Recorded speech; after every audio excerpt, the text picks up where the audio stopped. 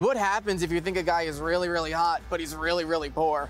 That I'm not attracted to. I could be like a sugar mama for a little bit. He might be really poor, but he might have great ideas to make money.